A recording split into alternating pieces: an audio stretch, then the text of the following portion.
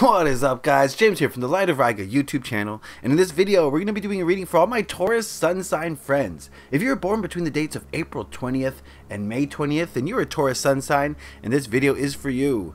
Today I wanted to look at the reasons behind worry and stress for all my Taurus friends.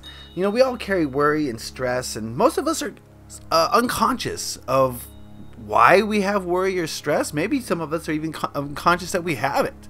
And we just accept it as part of life, it's just part of being human, is having worry and stress. But that is not the case. You do not have to have worry and stress in your life. And this spread is going to take a look at the reasons behind worry and stress in your life at this time so that you can possibly make some corrections and try to, to minimize or reduce it as much as possible. So to do that, I'm going to be using the Omegaland Tarot. Uh, this is a post-apocalyptic themed deck. I did a deck review on it if you want to see it somewhere on my channel. Uh, we'll use that for the main question. Then we're going to use the Mortem or Oraculum uh, Oracle deck to get to the root of the shadow issues behind this. And we're going to be using the crystal reading cards to figure out what kind of healing energies are going to help you get through this uh, reason for worry and stress in your life at this time. So uh, that's what we're going to use. If you would, please give me a moment to clean my table and center myself and ask the tarot cards a question. What are the energies surrounding Taurus sun signs as in regards to worry and stress.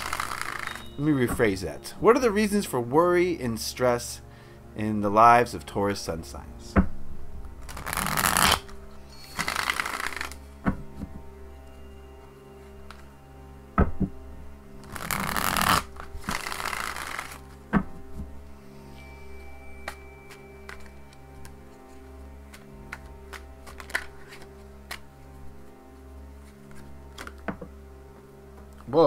Got a runner.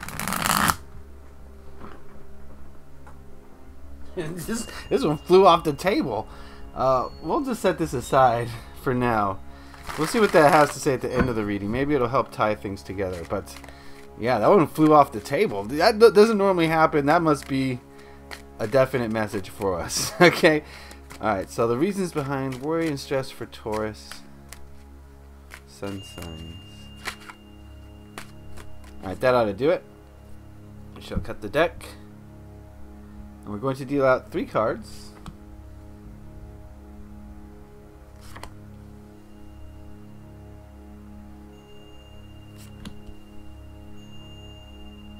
Very good. Now let's ask the Mortem Oraculum. Uh, what are the shadow issues at play behind this worry and stress in Taurus sun signs? Shadow issues for Taurus. Alright.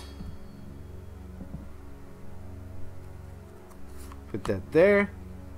And then lastly, crystal reading cards. Uh, what healing... Let's move that there. There we go, so I don't forget it. What healing energies are going to help Taurus sun signs move through worry and stress? What healing energies for Taurus sun signs?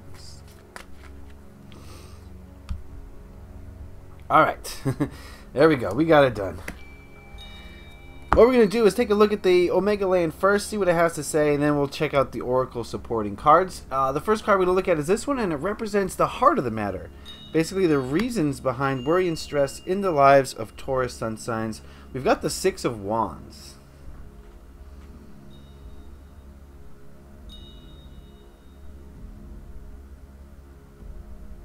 Hmm. Um the feeling I'm getting from this card is one where you want to. What's the what's the best way that I can explain this? Um, wanting to fit into a group is part of it, um, but I'm getting a little bit of ego here. Want to wanting to prove that you are better than others. Ah, so we got duality problems here. Wanting to prove that you're stronger, you're smarter, you're faster than other people around you. Being kind of competitive is sort of the feeling I'm getting from this card, and and not in a healthy way. There's healthy competition, sure, but there's also like ego based, like wanting to prove to your ego that you're superior, and uh, I get the feeling that that is a, a, a, source, maybe not the direct cause, but the, a source for a lot of stress in your life, is is needing to be uh, viewed as better than another person, needing to feel as though that you're better than another person. Um, and this is a general reading not everything applies so i do encourage you to look at these images and try to figure out what they mean for you but i think for a lot of taurus sun signs, uh, there's this urge to just um, kind of be a leader, maybe, and not necessarily like uh, in the traditional sense, but just uh, not be the the black sheep, right? If you're not the black sheep, then no one's making fun of us, no one's talking about us. It's better to be kind of in with the crowd, right? And then when we're in with the crowd, then we're with the cool kids, right? And then there's less pressure, there's less stress. But I think that the opposite of true is true. Trying to fit in with the crowd, trying to to prove that you're better than others, is causing stress, it's causing worry, and it's causing uh, some damage in your, in your life. So that's something that you kind of need to look at Taurus friends. If, if this resonates with you, if you feel as though you're always trying to prove that you're better than others or prove your successes over others, you have to realize that we're all in this together. We're all one and uh, another person's faults are our own faults. Another person's successes are our own successes, and we need to, to treat it that way. All right, let's take a look at the second card, which represents what you need to let go of in order for healing to occur. And we've got the Ace of Wands. This is a post-apocalyptic theme deck, uh, hence the gun here. The guns are wands, so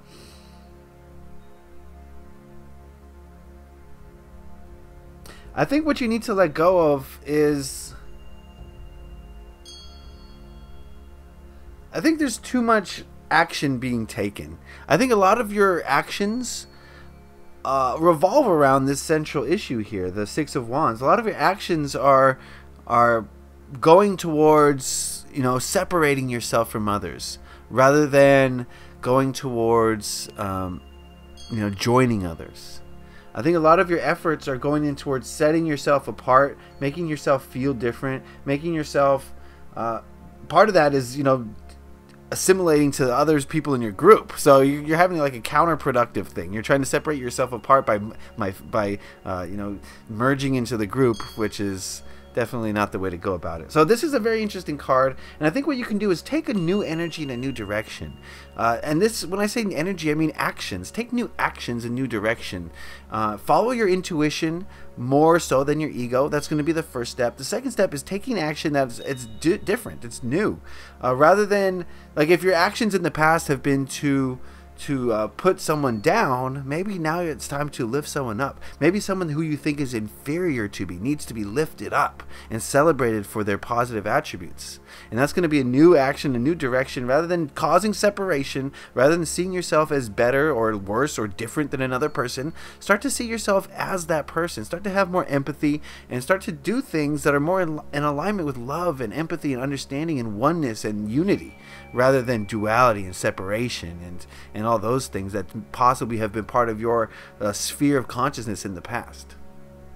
We're getting deep here, friends. Okay, so uh, that's what you can do: is is is take new action in a new direction, behave differently, follow your intuition rather than your ego, and I think all those things are going to help you get away from duality, away from trying to prove your worth to other people have have worth for yourself and then people will understand your worth. Not if you're not gonna you're not gonna make them right see your worth. Anyway uh, let's go to this card here. This um, card represents actions you can take to improve your situation. We've got the page of wands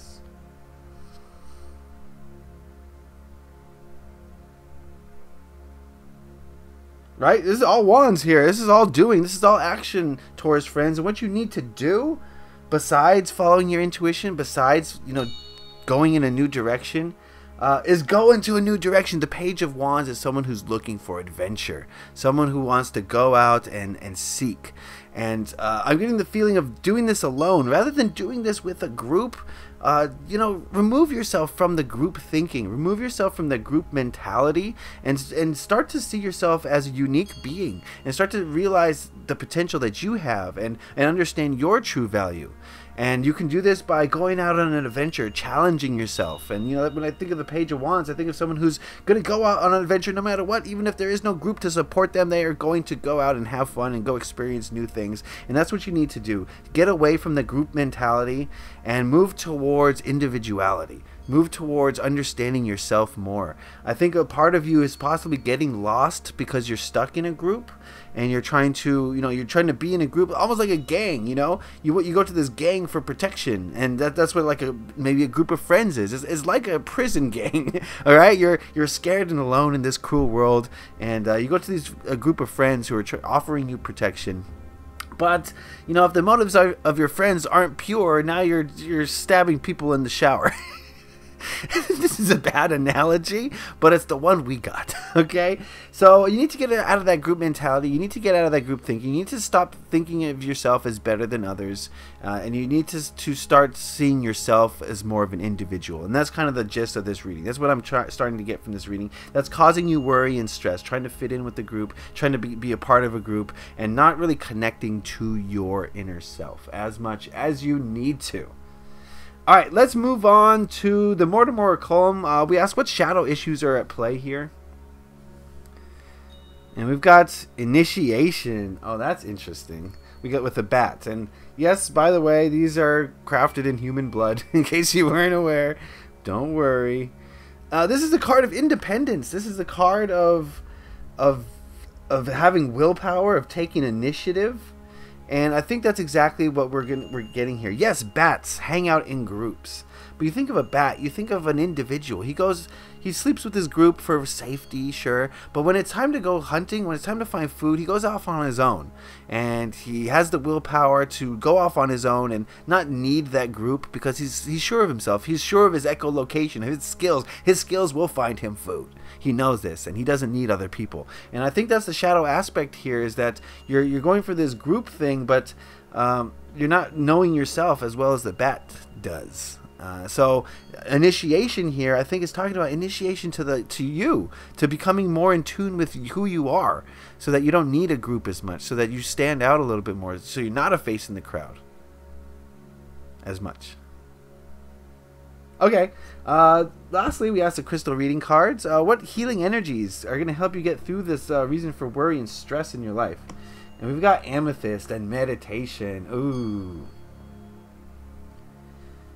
Um, you know, amethyst is kind of the premier stone for meditation, for for knowing yourself, and I think that's perfect here. I think the way you're going to know yourself a little bit better is yes, challenging yourself, putting yourself out there, but also uh, going inward and discovering who you are through meditation. Uh, that's the number one way. It's the only way to really know the self truly, is to get into contact with the spiritual realms, with the higher realms, and learn who you are through that process. And yes, going on an adventure will give you more confidence and, and more knowledge of the self, but true understanding of the self is going to come through meditation. It's going to come through that those inward journeys. So, uh, if you're drawn to to healing, uh, amethyst is going to help you at this time. It's going to help you to get more in tune with who you are, and I think that's very important. Very important. So, uh, before we go though, we had this one that just rolled onto the floor, and we've got the Queen of Cups.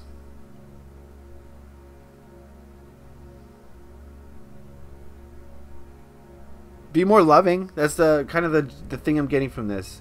Uh, fill yourself with love. Fill yourself with emotions, and uh, and be gentle about it. And I think that's going to help you a lot. Uh, get out of the ego. I mean, there's so much Wands energy here, so much going on that maybe it's time to just cool out and get in touch with your emotions. I think that's what you need right now, Taurus friends, is to cool down, get in touch with your emotions, maybe challenge yourself personally outside of a group situation. And uh, I think you'll find that uh, we're all one and we're all in this together and we all need each other, but at the same time, we all need to be fiercely independent. And by being fiercely independent, you're going to bring something new to your group of friends and you're going to elevate them. And uh, it's not to say that you shouldn't hang out with people, you shouldn't try to uh, affiliate with a group, but you should really, truly focus at this time to remove worry, to remove stress from your life. You need to focus on yourself and learn about yourself a little bit more, Taurus friend. Okay, that's the reading. I hope you got something out of it. I hope that was enlightening in some way. Um, remember, this is a general overall reading. Not everything's going to apply to everyone. But if you want a specific reading where I tap into your energies, head on over to my Etsy shop. Link in the description below. You can do this reading if you want. Uh, this would fall under the three card reading. So, so it would be one of the cheaper ones if you wanted to do that. So I'd appreciate if you go check that out. Uh, please leave a like if you enjoyed this video. It lets me know you, you enjoyed it, got something out of it. If you have any questions, comments, or concerns, put those in the comment section below. Love to hear what you have to say about these readings. And if you really enjoyed this video, please hit that subscribe button to stay up to date on all the videos that I release. All right, Taurus friends, uh, you're going to have to go out on your own a little bit. And it's going to be scary, it's going to be challenging, but overall it's going to be healing. And that's what you need at this time to be more independent and know yourself a little bit more. It's going to reduce worry and stress in your life. So I wish you luck on that, Taurus friends. Be sure to leave a like if you enjoyed this. Happy taroting. Peace.